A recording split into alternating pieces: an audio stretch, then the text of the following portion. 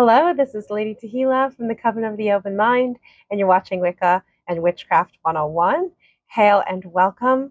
Today we are talking about Lecture 3, and that will be the beginning of Wiccan belief, actually, most of the beliefs that are decidedly Wiccan. And next lecture, we talk mostly just about the Wheel of the Year, which is the holidays and the traditions. And this one, we're talking more about the particulars of what most Wiccans actually believe in when it comes to higher consciousness, higher power. We'll be talking a little bit about Kabbalah, just tying some of those things we mentioned in past times into this uh, context of framing it within the Wiccan context. Um, and then we'll move on to talking about witchcraft and really just from here, the lectures get more and more fun and the exercises get more and more fun. So um, that's why I just cover the Kabbalah and the deity stuff first, and then we can put that behind us and work on our own relationship with these concepts. So, what do Wiccans believe? Wiccans believe in the Wiccan Rede, they believe in triform deity, duality of deity, aspects of deity is really what cardinality and, pol- and, polarity refer to. And we'll tie all of that together and talk about aspects when we talk about the prism principle, um, the great rite, uh, and conception as a metaphor for manifestation, um, the threefold law, so the idea that there are consequences to your actions, and reincarnation. Uh, and specifically in Wicca, usually we refer to our willing desire to live in the life we live in so that we can learn whatever lessons we'd like to learn for our soul's sake or give back to the world in some sake. But that idea that you live many lives uh, and that it's a choice how you come to be in this world is all wiccan beliefs. So in the wiccan religion uh, we uphold what is called the wiccan rede a rede is a statement of advice or counsel uh, it is, um, in this case, a group statement on the way that Wiccans conduct themselves, generally speaking. There are many interpretations of it. In Wicca, it is meant to be interpreted. Part of being an empowered being means that everything you do makes sense to you.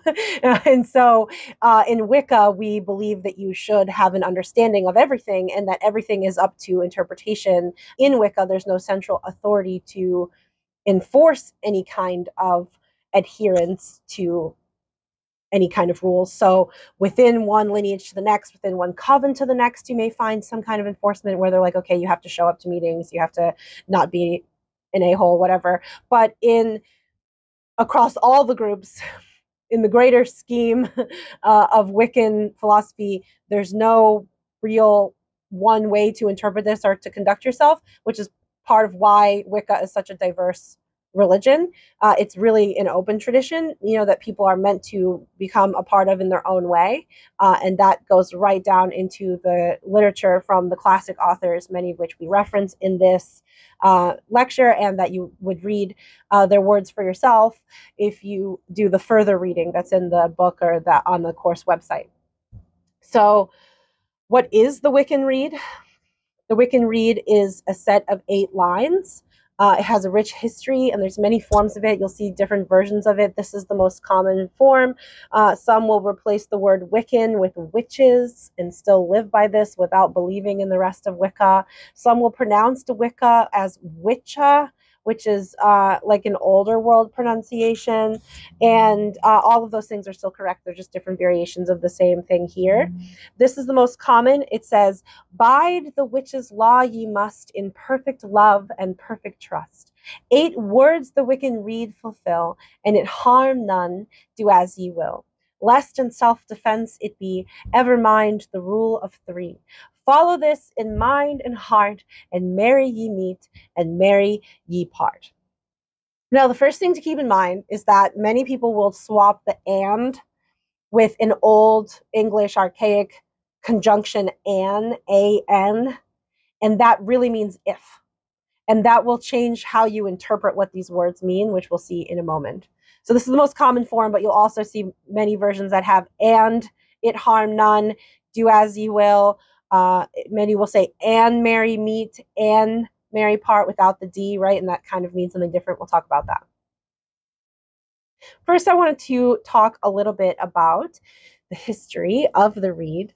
So, the Wiccan Rede has its roots in the Romantic uh, modern literature that was being written mostly in the 1800s that romanticized witchcraft. And we'll talk about that evolution of witchcraft through that period when we get to the um, chapter eight and talk about the history of witchcraft.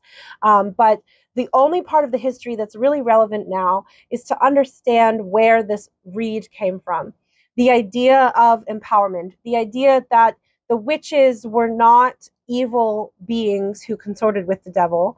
They were just women who did not always adhere to this idea that they should not take matters into their own hands. They knew the wisdom of the earth. They were midwives, they were healers. And when we look back historically, it's not just women who did these things. There were many people who were from the proto Celtic cultures that had descended from ancient lines of Celtic peoples, uh, Druids and the like, who had an equal balance of male and female uh, spiritual leadership.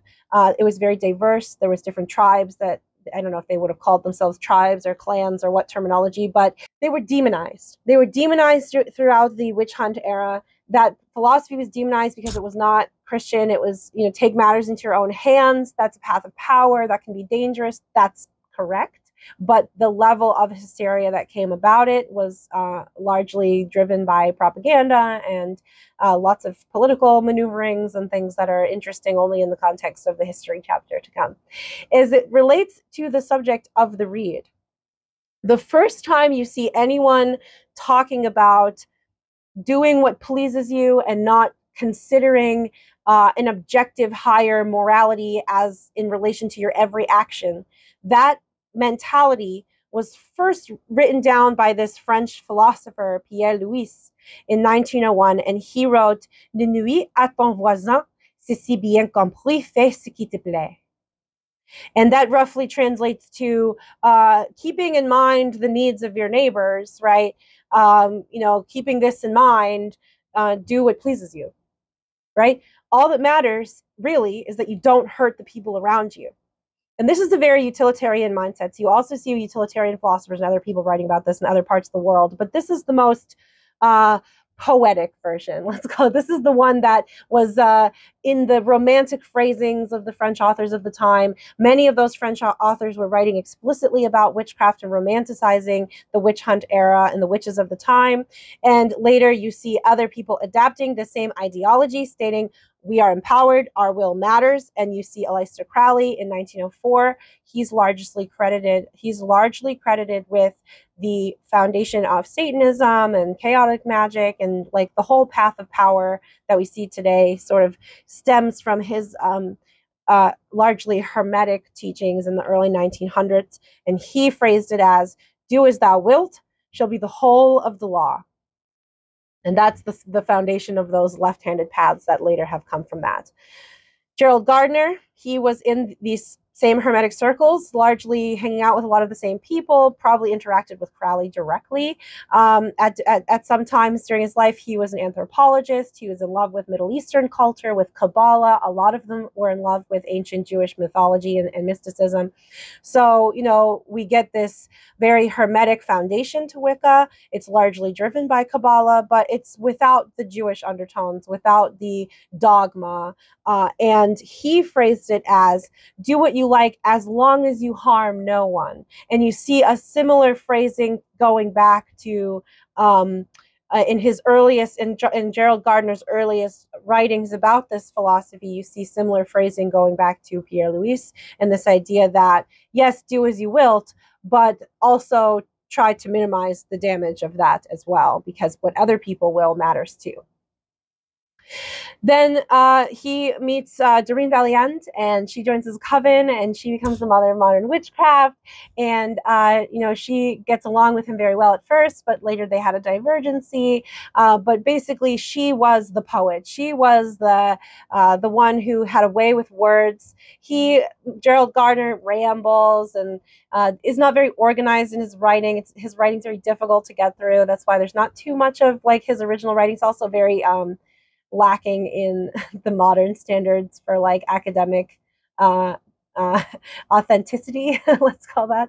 Uh, so, you know, Doreen Valiente came along and she really had a better understanding of like, okay, how do we need to be saying this? How do we need to be representing this?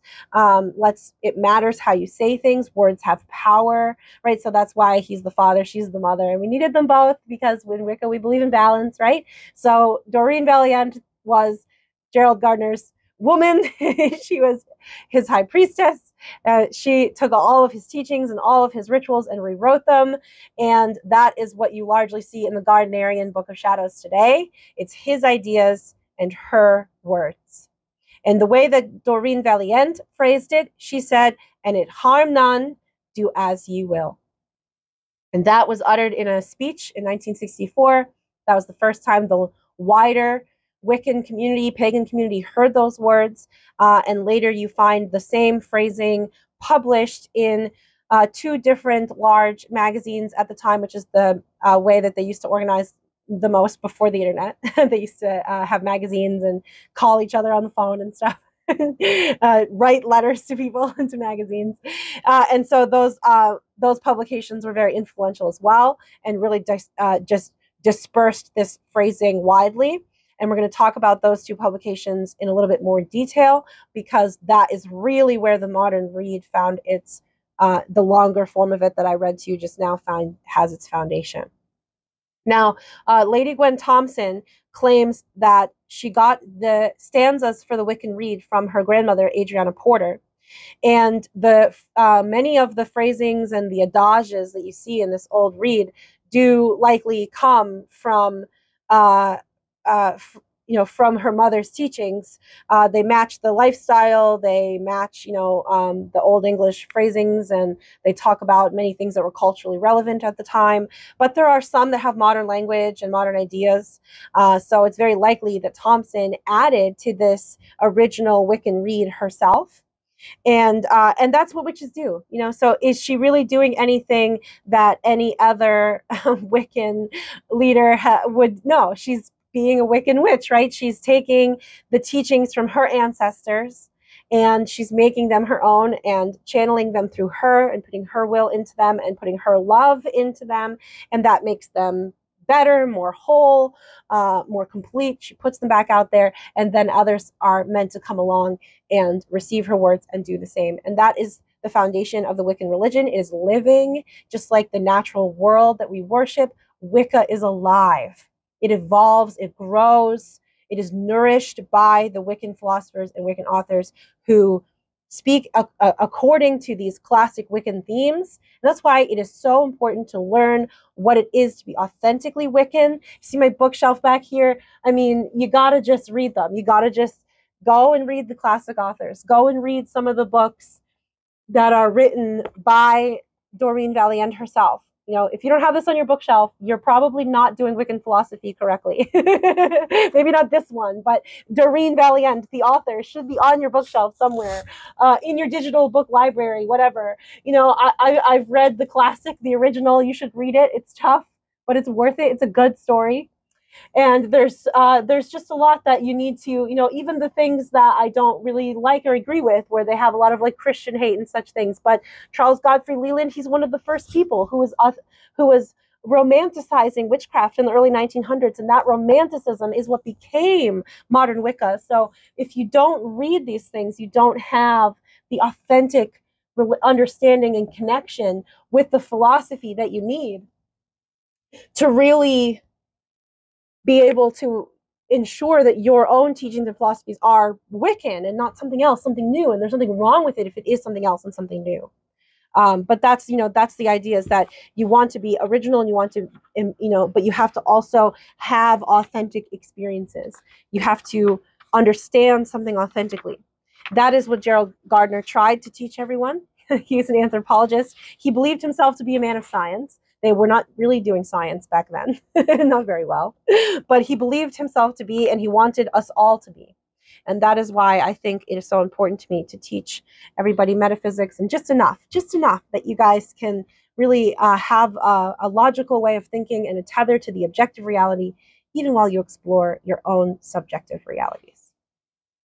Now, I wanted to start off talking about this, comparing the uh, original Rede to the modern Rede by just reading it I think you will hear a lot of the common phrasings that you hear throughout all of Wiccan literature and all of our rituals and spells. This is the single most uh, inspirational and and aspirational and you meditate on these words and you hear your versions of them and the quarter callings were inspired by this uh, you get the blessed be phrase from this uh, you get the um, you know trace the circle thrice about to keep the evil spirits out the process of casting circle and merry meet and merry part all of the phrasings that we use are found here within the original Rede i have it printed in my book on page 52 you can find it online. And it goes like this Bide the Wiccan laws ye must, in perfect love and perfect trust. Live and let live, fairly take and fairly give. Cast the circle thrice about to keep the evil spirits out. To bind the spell every time, let the spell be spake in rhyme. Soft of eye and light of touch, speak little, listen much. Deasil go by the waxing moon, sing and dance the Wiccan rune. Widdershins go when moon doth wane, and the werewolves howl by the dread wolfsbane. When the lady's moon is new, kiss the hand to her times two. When the moon rides at her peak, then your heart's desire seek. Heed the north wind's mighty gale, lock the door, and drop the sail. When the wind comes from the south, love will kiss thee on the mouth. When the wind blows from the east, expect the new and set the feast. When the west wind blows o'er thee, departed spirits restless be. Nine woods in the cauldron go, burn them quick and burn them slow. Elder be ye ladies' tree, burn it not, or cursed ye'll be. When the wheel begins to turn, let the Beltane fires burn. When the wheel has turned a Yule, let the light the log and let Pan rule. Heed ye flowers, bush, and tree, by the lady blessed be. Where the rippling waters go, cast a stone, and truth ye'll know. When ye have need, hearken not to others' greed.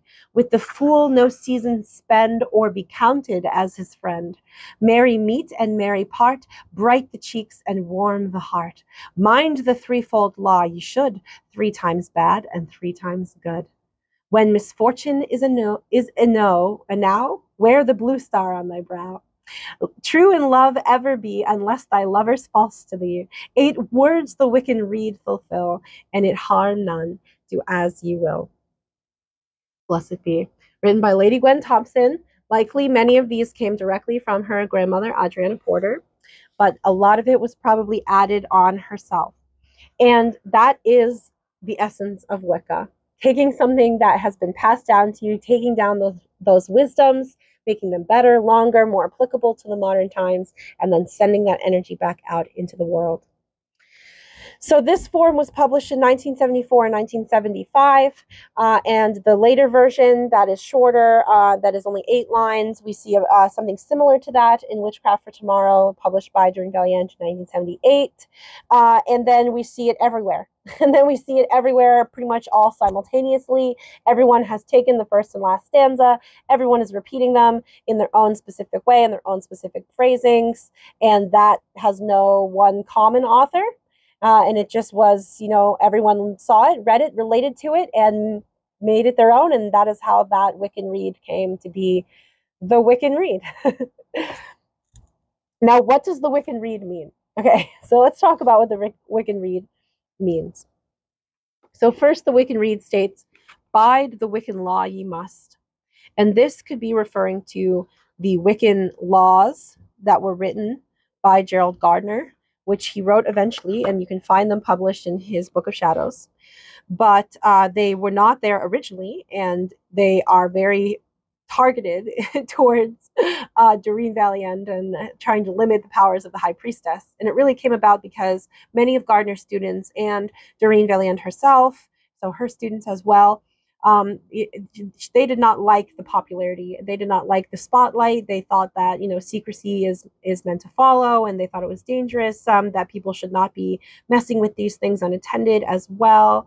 Um, and they just didn't. And Ger- Gerald Gardner was like, "Look, I'm trying to change the world here. okay, so I get your I get your fears, but I'm trying to make the world friendly towards people who do magic by by building a religion that is based around love and light, like Christianity, that has dogma of its own, uh, that is a full religion with its own denominations and everything, that is based around worshiping nature and the practice of magic. And they did not want to be in the spotlight, so they diverged, and many of them left to go form other covens. Doreen Valiente became a solitary witch. Uh, she spent most of her life as a witch, as a solitary. Uh, she uttered the Wiccan Rede as a solitary witch, and she was very much saying that people should be able to practice Wicca on their own, with or without a coven, as long as they do it authentically. And that's what you'll find in her writings as well, the same mentality. I learned it from her, okay? So don't credit me. Authenticity is important. and many people have, have thought so for a very long time.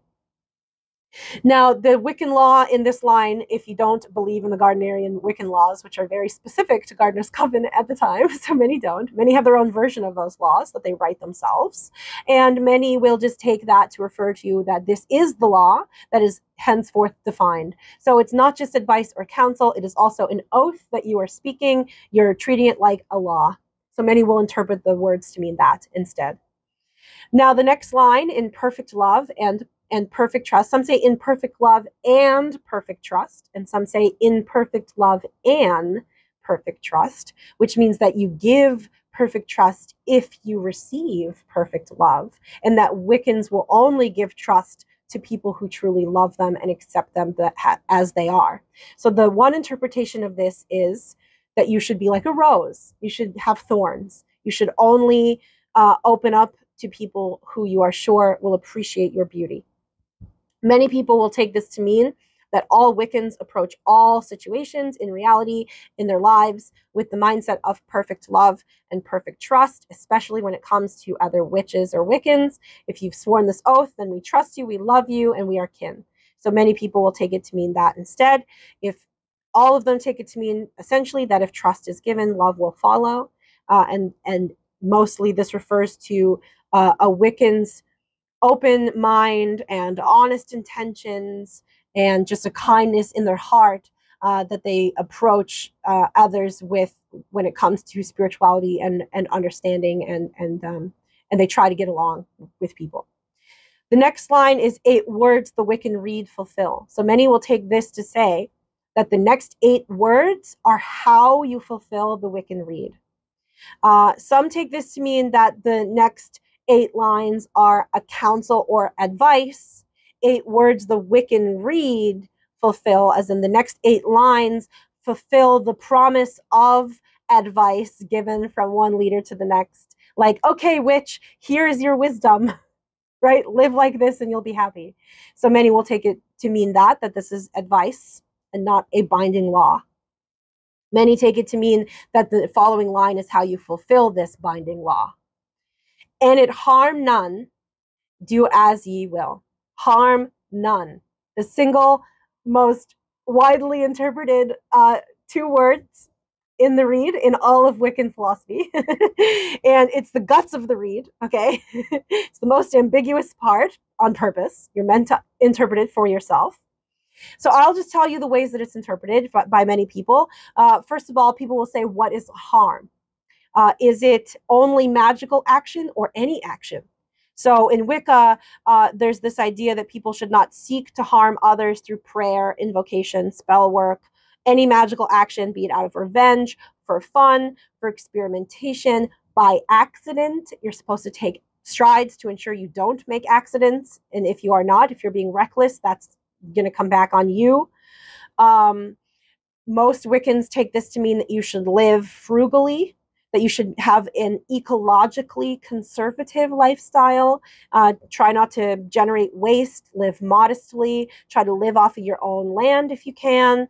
Um, then there are other people who say because Wiccans are divine, they take action to seek alignment with divinity. So they exist on three levels physical, emotional, and spiritual. You align those when you do spell work. And that alignment, living in that alignment, a realized uh, Wiccan, a high priestess, uh, an elder surely is going to be a person who is always aligned, and then every one of their actions is divine. So if that person acts just physically, they're really acting emotionally and spiritually as well. So they take this to, to mean that you should not even do harm with your physical actions, even, even the action of feeding your physical, even the action of feeding your physical body with other animal products and uh, and other animal meat, not being vegan or vegetarian. In other words, that lifestyle may be considered harmful because those animals have to be sacrificed for you to live. Now, there are many people that do not have the luxury or the ability to say goodbye to that sort of lifestyle.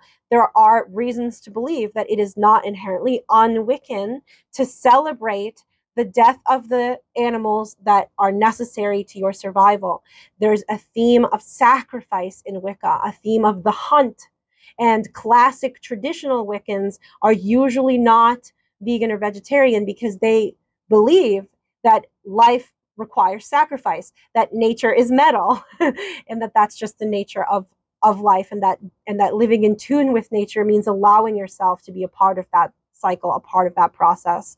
So it's not more wiccan or less wiccan to believe you should be vegan or vegetarian. It's just different interpretations of the same philosophy and the same experiences that we all have in different ways. We'll talk about why that's also completely allowable in Wicca as well, and why we're all meant to have different experience taken in different ways. But the one thing that all people agree with is that you should try not to hurt others with your actions, lest in self defense it be. Ever mind the rule of three. So, Wiccans believe in self defense, they believe in acting to preserve your own life. Even if they believe in do not harm others, they still believe that it's your right and often your duty to protect yourself. They often will believe that it is your right or duty to protect other innocent beings, which is why you find so many Wiccans who are advocates for LGBTQ plus rights, for um, animal rights, for all different kinds of these uh, humanitarian movements. You find that because Wiccans are very called to uh, to freedom, to allowing everyone to have autonomy and freedom to pursue a lifestyle that makes them happy and able to connect with divinity. They believe in empowerment, and the only truly immoral action, as seen from Wicca, is one that takes away another's ability to decide for themselves how they want to act or conduct themselves, right? So you can use that framework to condemn murder. You can use that framework to condemn all kinds of acts. And you can also use it to dissect, you know, uh, modern political topics and figure out where you lie. But you're going to find most Wiccans and witches are probably on the progressive side of the spectrum. They tend to be a little more liberal because of that belief in uh, individual liberty and personal freedom, uh, and that everyone should live the lifestyle that suits them the best. They're they're very lacking in judgment, very big on live and let live. Um, people can do whatever they want in the confines of their own space and if it makes me uncomfortable i will just keep it out of my space. And uh, and that's like the, the mindset. They really only act in self-defense usually if someone is doing something that is harmful that they're hurting innocent people. You you may find wiccans doing curses under those circumstances. Usually it's going to be things that um, disable the person and keep them from doing those harmful things as opposed to things that actually wind up hurting them. But again, it just varies from witch to witch and different tradition to tradition. Um, so you're, you're never going to find a full consensus on this. Uh, and we're going to talk about the rule of three in a minute. The threefold law, it's called. That's like Wicca's view of karma. And in the context of the Wiccan Rede, it's really just about okay, there are consequences for my actions. If I do cause harm on people, that's a, there's going to be consequences for that. So I should keep that in mind.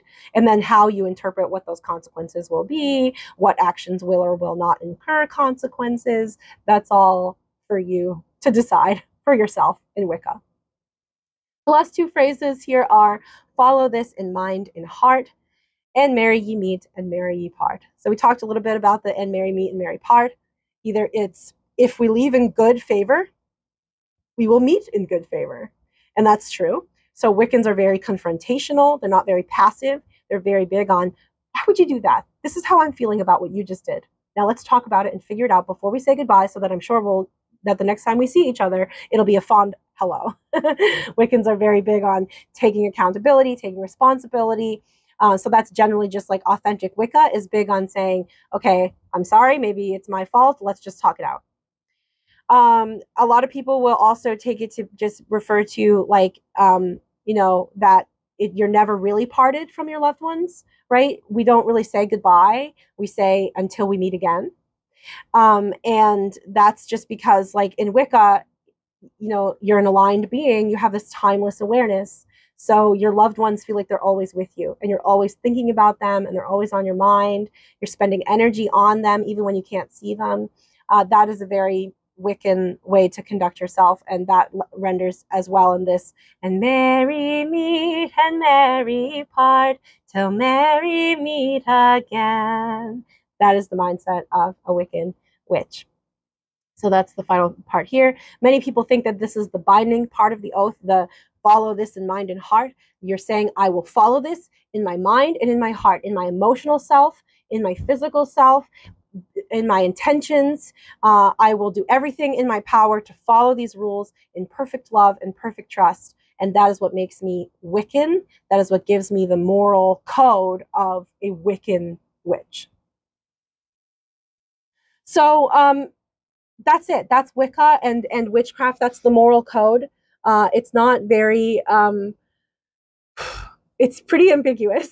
it does. It leaves you with a lot of like more questions than you it, it answers, and you're like, okay, well, can I get an abortion? Can I uh, uh, do a curse on a person? Can I bind someone if it's if they're hurting themselves with their actions? Then is it okay to bind them? What about binding spirits and working with the dead? Uh, so there's a lot of things that are not really answered by this Rede. And that's why Wicca and witchcraft are really gray religions. They're in the ethical gray area. You will find people do things in Wicca and witchcraft that would make Christian people uncomfortable. Um, and you'll find that there are people even within Wicca that are uncomfortable by the way that other Wiccans will act. Um, so you have to just remember to think really far ahead and really know yourself and say, uh, is this something that I will feel guilty for doing? Is this something that um, I'm not sure is wholly in my own best interest. Even if you're not sure about an objective moral code, the best way to ensure that something doesn't come back to get you is just to be sure about your own feelings and intentions on something before you do it. A lot of Wiccans will or witches will, um, you know, consult their divination tools and they'll say, "This is what I want to do. I put some time and thought into it. Let me just see if this is a good idea and like double check when I should do it. Like use my cards, use my runes, figure that out. Often the cards and runes will be like, don't do this. And they'll be like, here's the death card, here's the tower. And you're like, oh, maybe this is a bad idea. and you'll rethink what you meant to be doing. And Wiccans do believe that they live in tune with divinity and that divinity has its own will. Divinity is within and around us. So, you know, we believe we don't have all the facts and we try to live in tune with divinity so that we can become aware of the things that we don't know and we can minimize the amount of things that we do that may have inadvertent consequences to ourselves or others um, because any inadvertent consequence is considered failed magic, uh, even if it's a good one, because it means that you've invited chaos, right? And the idea behind most Wiccan magic is that it's ordered. It's a it's a process that works with divinity it's a propagation of divinity into reality, but it's more than just a prayer. And we'll talk about the difference between asking and demanding, so to speak. But Wiccans think about their deities as being friends, guides, people that have mutual interests in in uh, in wellness. Um, and so Wiccans work with the flow of the universe, not against it. Uh, but they are still empowered to take action, and they believe that individual will is the purpose of reality. We exist in our individual forms in the way that we are, with our egos, with our bodies being how they are, and the limitations that are imposed on us by that physical reality. Um, we are the way that we think and the product of the things that have happened to us, even the bad things. The suffering is a good net good in the end because it's all an experience that builds you towards purpose, towards meaning. Even the people that end their lives tragically are people that have greater purpose and greater meaning, and they influence us as well. And they take some lessons with them, even if the burden of their lives is too great. That doesn't mean that they were a failure. Like they came here to do certain things and they passed when it is their time to pass. And if that was their will, God's will, it makes no difference. It is just will. It is all just will. It only looks different to us because we experience the passage of time. And I gave you all the Kabbalah in past lectures so that you can understand this right here the duality of action. You are empowered to act, you are meant to be you and to do what you want to do and to have the desires that you have. You ought to be you, or you would not have been born unique. But you also have to consider that your actions have consequences that extend beyond you and that you may not be fully aware of when you act. And that's why you should seek a relationship with divinity according to Wiccan philosophy. Now, let's get into some of the beliefs about how we relate to and interact with divinity. If you remember back to the previous lecture, we talked about divinity and what it physically is. So, just a quick recap on metaphysics in one ear and out the other if this is too much. But we are one process experiencing itself. And if you want to look up a really good representation of that, check out the egg. Uh, by the way, there's many different versions of it. Good one. Uh, we are the process of order, and we are the manifestation of order into reality. And we are also driven by the bias of the universe towards order.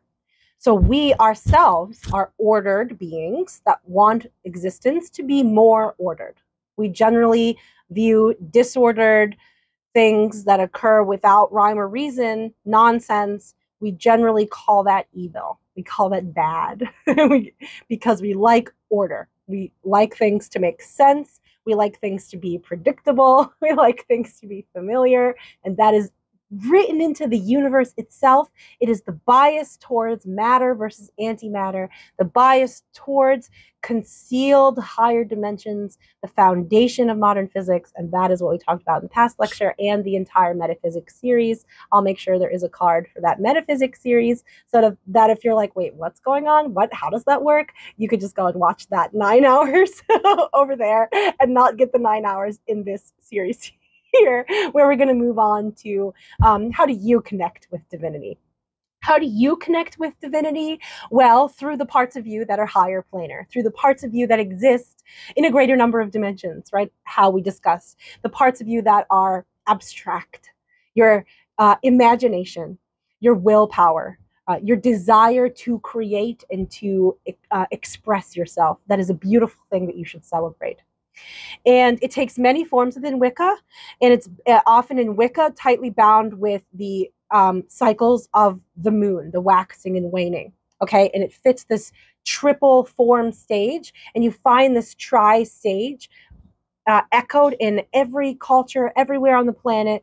It is just a way that people connect with processes and change. Uh, the idea of a sine curve, the idea of oscillation, ebb and flow, push and pull, back and forth. Well, it's dual ebb and flow, push and pull. That is opposite forces interacting. We'll talk about duality and polarity in a second. But it also, for humans, it feels like a moment occurs at each of those stages. When you get to the top of the curve, it's a moment, it's an it's a memory, it's an experience, it's something you can relate to and understand. And that is where the concept of cardinality comes from. It is the humanity, it is the uh, conscious being projected onto that time period, interpreting that moment and experiencing it as a moment, as a phase as a, a, common experience that everyone has as a nature of their biology. When you're young, you are waxing, you are growing, you are taking in tons of energy and using it to build new parts, form new connections, find new ways of doing things. Waxing energy, growing larger, it is new, it is fresh. It has somewhere to grow, it has somewhere to be the full stage. You're at your peak. You're the maximum you. You can create at will according to your own desire. Then you are waning. You are aging, you are tired, you are sleeping more, you're getting ready to sleep forever. Then you're asleep, you're dark, you're new, nobody can see you, nobody's aware of you. Are you even real? Where do you exist? Non being until you are born again. It is an understanding of the duality of deity as a process that occurs over time. That is cardinality. Waxing, full, waning, new. And it's a pseudoscience, okay? It arises from the physics. It is an intuitive way of understanding the way all things function in our universe. All things ebb and flow, oscillate, vibrate, shift in and out of dimensions on levels too high to conceive of. And that was our previous lecture. so, in Wicca, we relate to those concepts by being human. Okay, that is the one thing we were born to do. That is what we know how to do. We know how to be ourselves. We know how to be human. We don't always necessarily understand the abstract concept of God. So we try. We try and understand a timeless reality, a realityless reality. Anything that could be is. But we do it from the lens of our own experiences.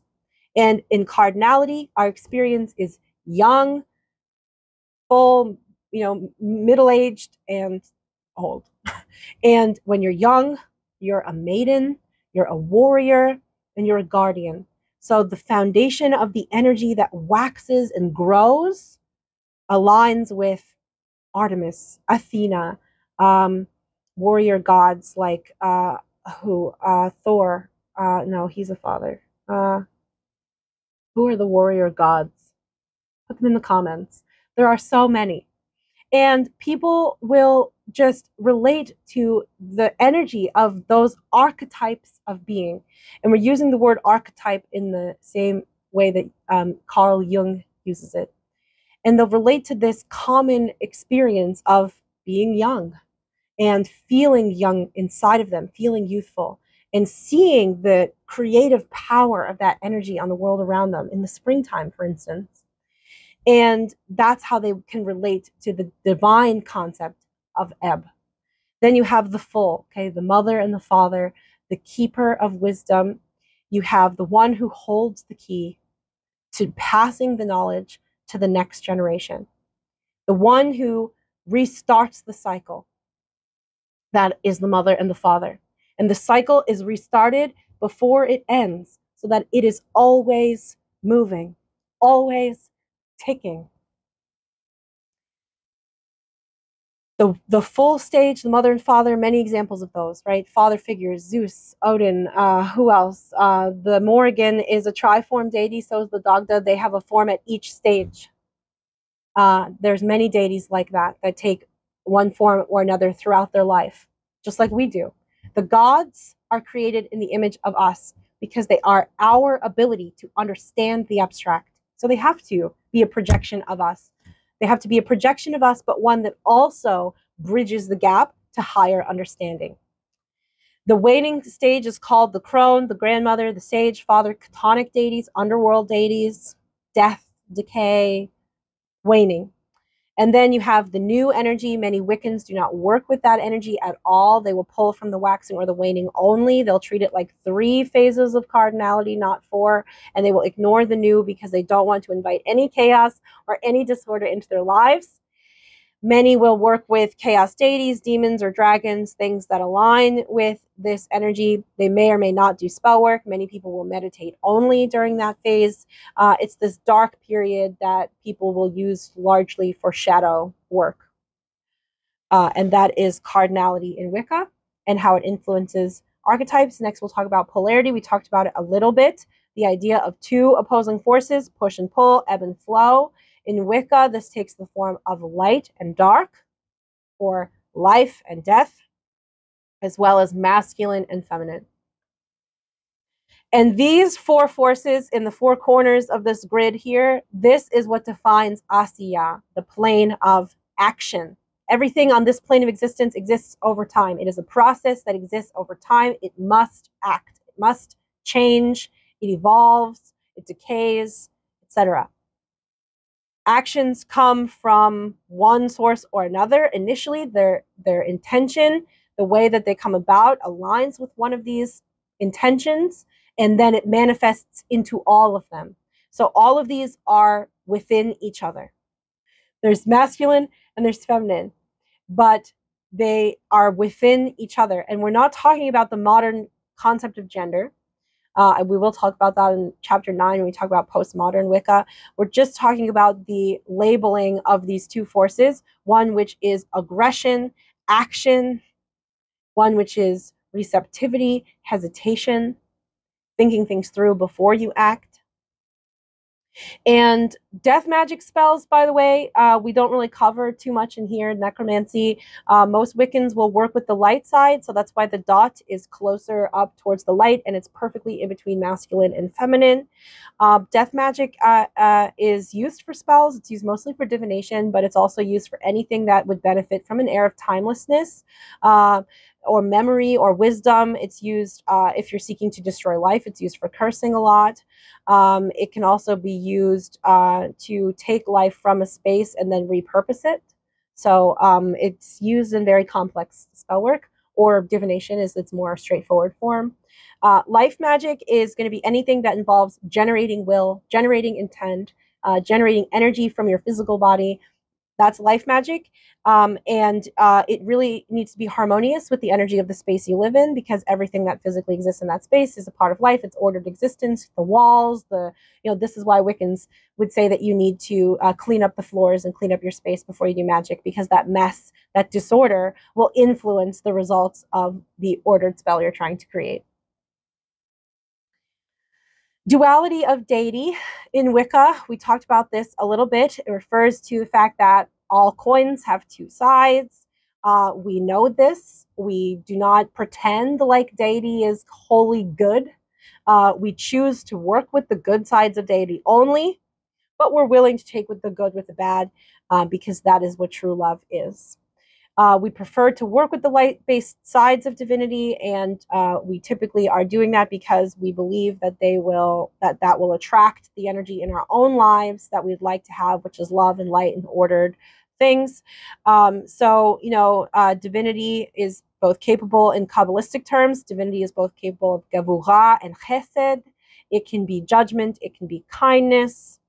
Avoiding the darker sides of divinity and therefore also the self, because divinity is within us as well as around us, as above, so below, which we'll talk about that phrase in a moment. But that doesn't actually make it go away. To ignore it doesn't make it go away uh, because it just diminishes the awareness of it and pushes it into your shadow self, which is Carl Jung's terminology again. Pushes it out of your ability to recall that it's a part of you. Uh, and harmony with chaos that only comes when you're willing to take the good with the bad. So, harmony on a gray religious path where you do not just embody wisdom and find meaning in everything that happens to you and you're kind of more passive.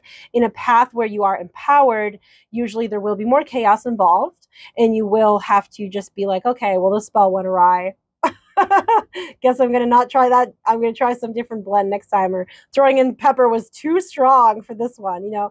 So that's the essence of faith and wisdom, the right-handed path, but also a mindset of, you know, it was my own fault, it's my own actions, it's my own will, and I should take accountability and try new things next time. And, you know, so it's a blend of that in Wicca. And that's the duality of deity manifest into our own perceptions and how we think and act in ourselves. So, as above, so below, the foundation of sympathetic magic. We'll talk about that some more. Divinity is both within us and around us. It is contained within us in finite vessels that observe discreteness, a separation between ourselves and the walls and the books and the people watching this. We appear to be separate, but we are really one system engaged in a meaningful experience together right now, I should think. And that is magic. That's what magic is. The fact that you can watch this later and have a meaningful experience and learn about yourself from a different place in space time as if it didn't matter and you're sitting in the room with me right now is magic. Deity is both within us and around us, and both of them are important to a balanced being. The last thing to talk about when it comes to duality before we move on, and this is kind of an aside, are Gardner's eight qualities of duality. So Gardner once, you know, sat in gardens and stared at blue skies and looked for shapes in the clouds, probably, uh, and came to understand many of these concepts for himself. And in doing so, he in, thought of deity as being dual in these four ways, kind of like four dimensions, which is what we all exist in. So that's actually kind of cool and a really good sign that he was on the right track to understanding some higher wisdom because he had an intuitive understanding of something that can be found represented in the science as well. And he said that deity is dual in the concept of beauty and strength, power versus compassion, mirth versus reverence, and honor versus humility. And the duality here refers to the essential balance uh, that you gain when you act to garner respect for yourself, what you know from others, while also acting without care for respect because you are acting in a capacity that is more uh, transcendent than ego driven. And it's not obvious how these things are dualities, I think, in modern day. I think it's beneficial to people to sit down and just kind of um, meditate on these terms and think about how they might be considered opposites. You can look at my interpretations in my uh, open minded Wicca. Uh, there's PDF in our library. If you need a PDF, please um, put a comment, but you can also buy it on Amazon. Um, it's just a really nice reference but yeah, so you can read my interpretations in here if you want some inspiration. But really, I think in order to be a Wiccan witch and have a Wiccan relationship with divinity, it's important for you to have your own personal connection with those dualities and how they translate into an ego driven um, and yet transcendent. And that's what we call the divine persona. It's like the bridge. It's not really the ego. It's just the the translation software between ego and divinity, which is the lack of ego. So using those phrases helps you build that bridge for yourself, build that divine persona in a way that is inherently Wiccan. So if that's something that matters to you, I would spend time meditating on those phrases as you practice meditating and and learn how to um, how to get into that altered headspace and find hidden meanings and things that that enrich you and, and make you more um, of your version of a spiritual person. Now, the, the prism principle is how we bring all of this together. the prism principle is how we tie duality and cardinality together.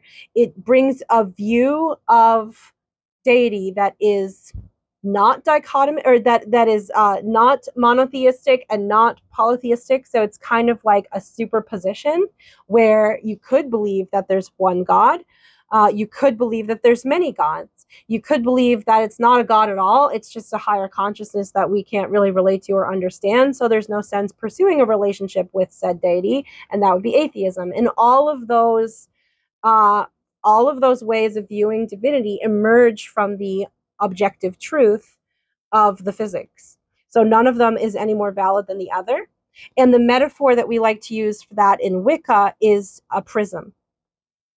So we say that every person is a unique prism. Every person is a physical object that has a unique configuration of molecules and atoms and puts off a vibration that is unique in the same way that a crystalline structure has unique vibration. If you shoot uh, a white light into a prism and it refracts and forms a rainbow on the wall, is it white light? Yes, it certainly is at the start. Is it colored light? Yes, it is colored and it is white and you can't tell that it's both at the same time until it's gone through the prism. And that is where we get the concept of archetypes from. That is why we all have different relationships with divinity. We are all a unique kind of prism. And when that white light of God shines through us, call it God, call it the all conscious, call it fate. I have a Jewish background. I lived as an Orthodox Jew for many years. I'm Jewish by heritage, so I call it God. you can call it whatever you want.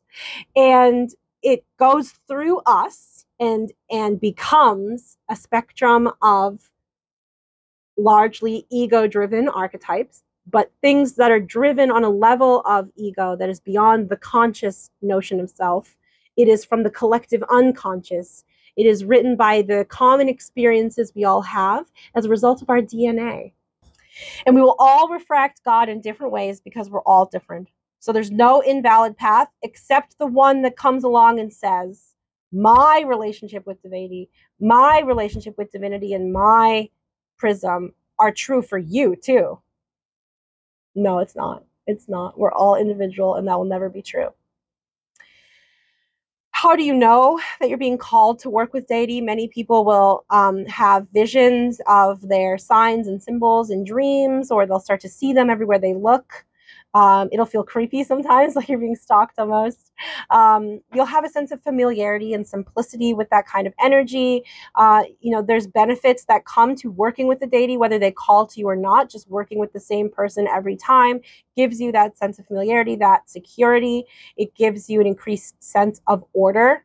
This is why there's a lot of power to like the Catholic Mass, even if you go there and sit there and have no idea what you're doing or like feel connected to God at all. It still is a powerful thing to participate in an ordered routine that uh, many people participate in together.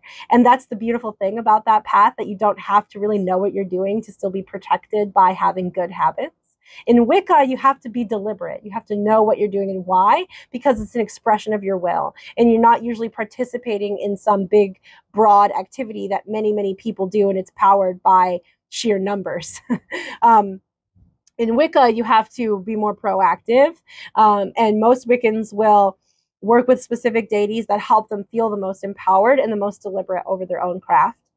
And um, they should make you feel better about yourself. Working with divinity should make you feel good.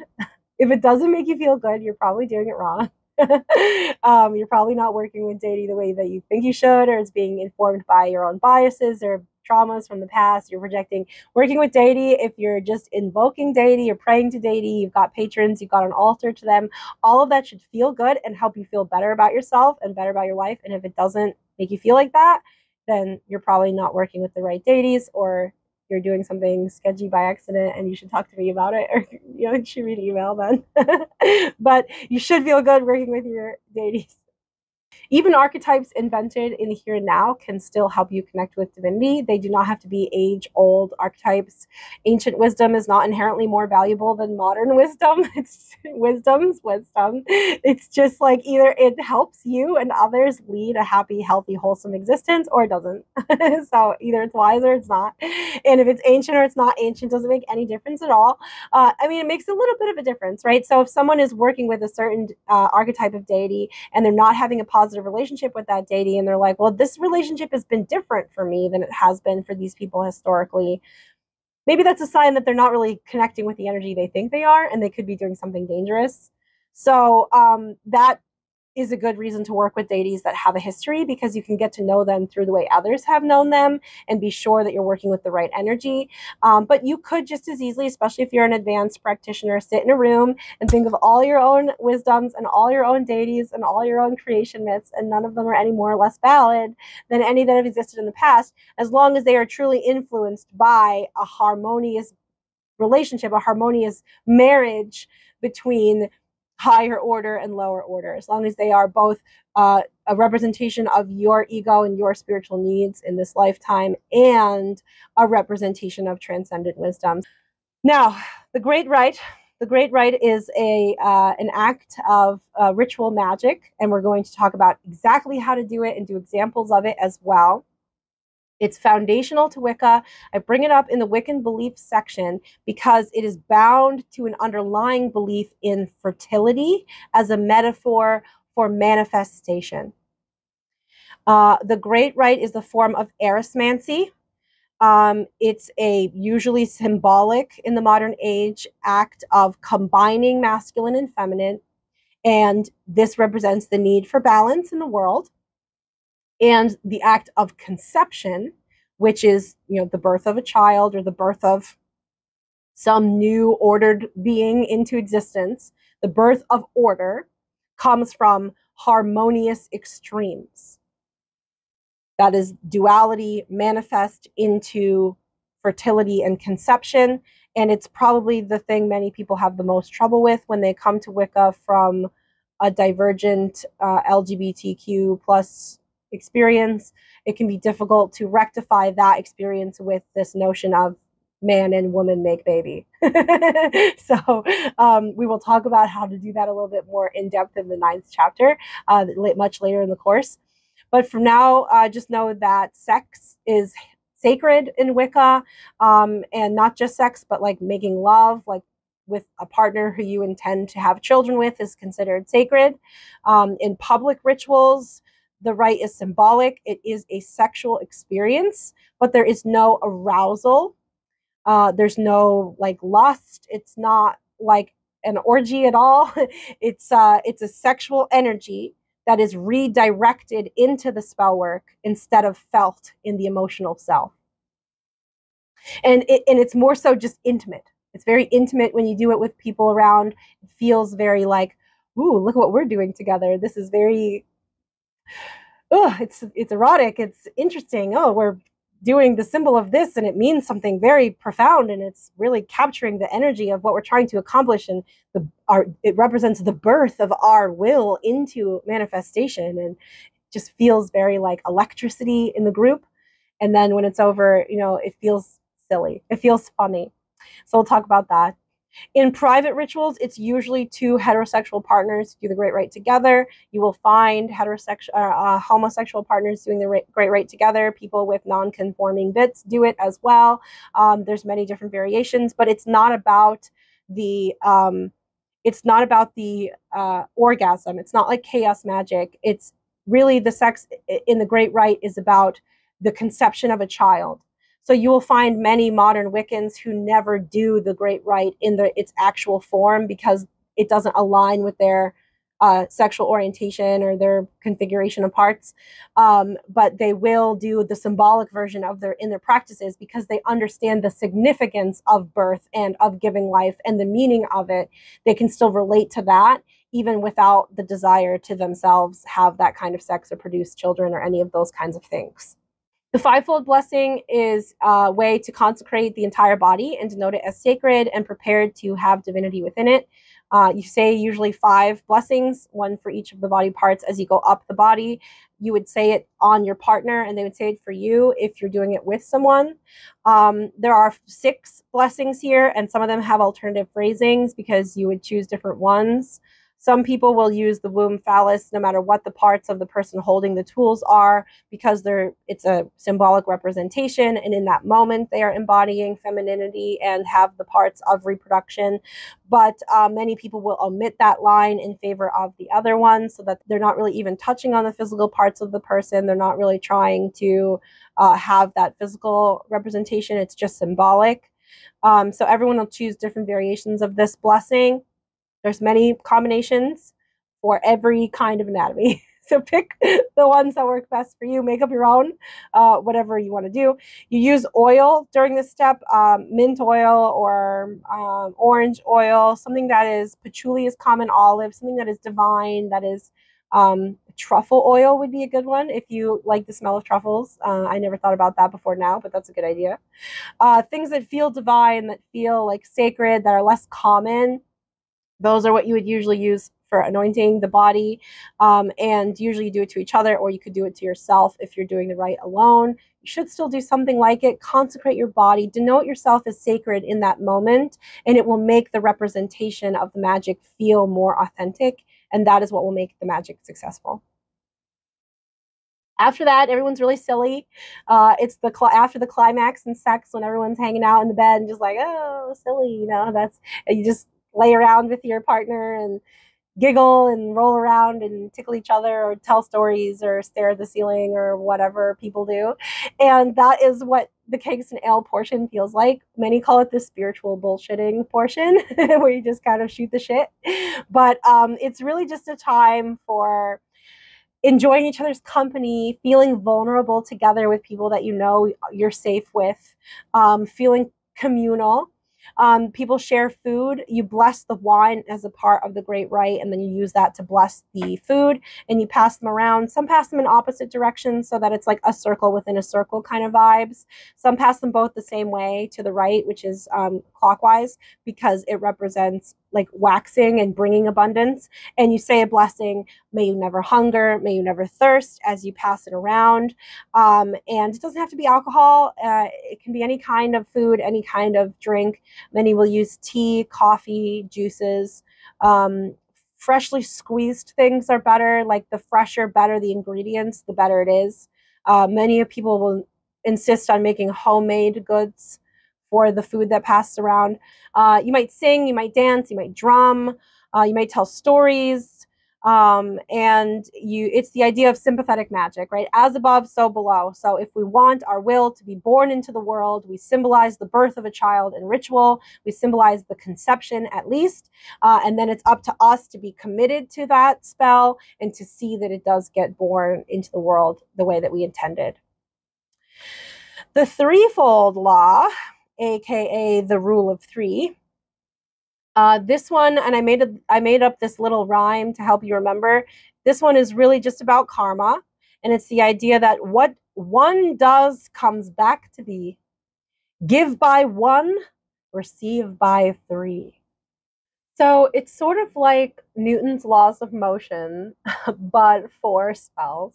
And the idea is that witches and Wiccans specifically take time to align themselves with the lower parts of themselves, the physical, the emotional selves that are like represented by the elements. We'll talk about that in the next lecture, uh, actually, in a couple lectures. And they will align that part of themselves with the divine, the spiritual part and they think in that way, when you're truly a realized witch and you're all aligned, every action you take, even if it's purely a physical one, eating food, punching someone in the nose, all of those things are things that will um, propagate out on three levels, even if you don't see it go out on all three of those levels, so that you know every action for every force there's an equal but opposite reaction right? An equal but opposite force. So then you will receive that back to you but it may come on three levels. So if you're not aware of how it went out on all three of those levels, then it may come back to you in a way that is shocking or that um, seems um, where it, it, it may seem like it's just disproportionate, the response, like you're being punished for some action.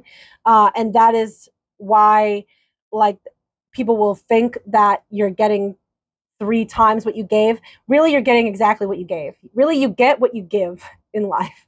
Um, give by one, receive by three. You know, so when a witch acts in any capacity, doing absolutely anything, if she's truly aligned, then she's going to receive by three for any action she does, even if it's not obvious.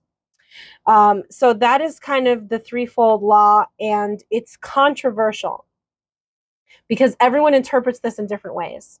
Some people interpret this to mean that those who seek ill deserve ill. Those who would seek to cause harm deserve to be harmed, and it is the obligation of a witch to respond to their crap with crap. Okay, so they it's the responsibility of the witch to mirror bad intentions back on those who had those intentions.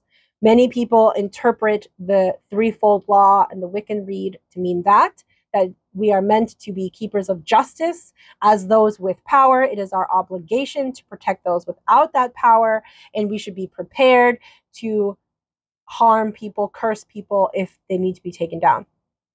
Some people uh, believe that also applies to blessings. You receive blessings, you pass it on times three. And that's kind of in line with the original way of looking at karma uh, that comes out of like more Eastern traditions. And uh, and some people will point to like Joan of Arc, the great seer, and say, look at this, you know, look at this woman who smote people and and did God's will on the universe, and uh, and was she not righteous in her actions? And um, and that's where they'll get inspiration from for uh, for that mindset. Now, I wanted to just read this uh, excerpt. It's on my book on page 71 of the paperback. Um, you can also find this in the High Magic's Aid book that Gerald Gardner wrote, and it's an excerpt from that. It says, Learn in witchcraft, thou must ever return triple. As I scourged thee, so thou must scourge me. But triple, where I gave thee three strokes, give nine. Where seven, give 21. Where nine, give 27. Where 21, give 63. For this is the joke in witchcraft. The witch knows, though the initiate does not, that she will get three times what she gave. So she does not strike hard. And many interpret that to mean the interpretation I just gave. But many interpret that to mean that a witch ought to refrain from harming others, knowing that she will get three times in return what she gives out, and that she should try to cause as little harm as possible, even when acting in a way that is meant to be harmful. Uh, and so Gandalf, I quote here on the slides, would say it like, even the very wise cannot see all ends, right? So there are reasons why uh, people do what they do that are beyond our own understanding. It isn't for us to judge them. If they are doing something that is objectively hurtful to some person, we are defending innocence, we are protecting people. Uh, we should try to do it in a way that benefits all of the parties, even the perpetuator of the violence or the harm, because keep in mind that even those who perpetuate harm are often themselves victims whatever you decide when it comes to a moral code or a moral understanding of this is for you and then you should abide by that. Because what you don't want is to generate insecurity and guilt and unhappiness in yourself. You have to live in tune with yourself and the world around you Reincarnation is a very popular theme in many world religions. Um, you find it in Judaism, you find it in Hinduism, you find it all over. Um, it is there is a Wiccan take uh, here that talks about um, humans are a concentration of life energy, deity is the abstraction, um, and in that way, anything that is capable of sustaining concentrated conscious life can be a vessel for any soul.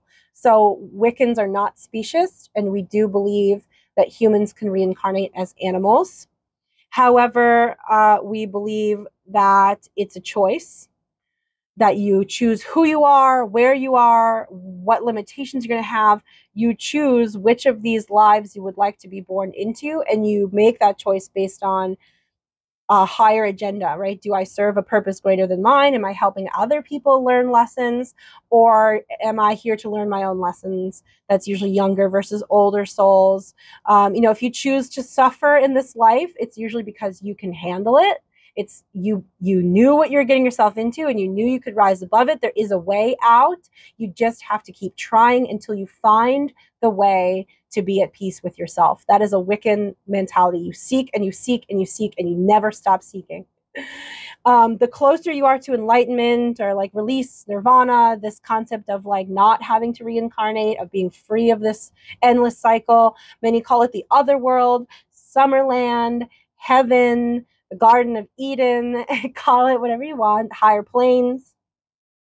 The closer you are to achieving that, usually the harder your life is in this lifetime because you are learning the hardest lessons of all. Generally, uh, usually you are often responsible for the lives of many other beings, uh, and that is the nature of a person who is just capable uh, because they're close to release and, and they're close to being done with the cycle for their own souls and they're here you know, for other purposes still.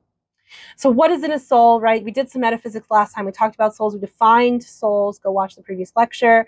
But think about it if death is a timeless consciousness uh, and it's beyond any one timeline, it's an ocean uh, or a river of many souls taken as one. So, then how much time do we spend between lifetimes? No time. No time at all. It's a it's a meaningless question. time is not passing for us in between lifetimes. We are outside of time. So the question does not make sense. Faster than time passes, you are reborn. You can be born into the same timeline. Uh, many people would say that their familiars are really them come back to support them in this life and that they are like twin flames. That's what a twin flame is. It's when uh, there's two soul, uh, the same soul in two bodies because they reincarnated at the same time. Your twin flame is not always your soulmate. Okay, keep that in mind. I do a whole I do a whole chat on that. So in your last life, when it's when you're all done, you're going to be released from the cycle of reincarnation. Uh, that is when you have a, an ascended awareness. It's called. So it's you know, it's one of those things where it's like in Wicca, we just don't think that much about the end of about the end game. As S.J. Tucker sings in her uh, uh, Cheshire Kitten song, you know, she says, um, uh, "You can't forsake the journey for the safety of your room until you learn your lessons well." So don't even bother to to dwell on death and discomfort and suffering. Face it, rise above it, and experience life. That's what you're here to do. You'll die one day anyway. There's no sense fretting over that. Just live as long as you have the luxury to live. That is the Wiccan philosophy and what I'm trying to get and convey in all of the things coming to a head for this lecture. So I hope you learn that and that you think and feel like a Wiccan witch and that this helps you uh, be authentically Wiccan in, in spite of your journey being solitary, I presume, if you're finding me on this channel. The homework for this class, if you're following along in the course, and these are all up in the classroom as well, um, is uh, the questions from chapter two. Actually, I may have to still put them in the classroom. I'll do that right after I get this uh, uh, video edited. But um, I had to record this video twice. The first one was way better. I'm sorry. I lost the I lost the recording from my phone. But I got these new mics, so let's see how the audio sounds. Maybe it's better this way. The homework, chapter two, mostly it's just questions. Uh, the exercise number two is a really easy one. Um, I'd say focus on the questions, focus on learning the philosophy, take a break from meditating to do that and then go back into the meditating. I mean, still meditate if you're forming like a routine with it, but otherwise, I mean, I'd say uh, try to learn these truths, the Wiccan, the authentic Wiccan. Go review some of the further reading and all this stuff. Read the quotes, especially if you're reading my book the quotes other people's words are way more important than mine. Please go and read the further readings. It's very important to having an authentic understanding. And uh, and it's uh, chapter 2 pages 48 through um, 74 uh, and then next lecture we're just going to hone in on the wheel of the year and i think that'll take a whole lecture so um, so that's why we're doing it this way. But that's the wiccan philosophy. That's the wiccan set of beliefs and if you believe you know, duotheism, Lord and Lady, ebb and flow, back and forth, cycles. If you find these themes in your existence, then you are a Wiccan witch. Hail and welcome. So, thank you for watching. Thank you for working on yourselves. I hope this helps you. Take what serves you and leave the rest. And from everyone here at the Coven of the Open Mind, blessed be.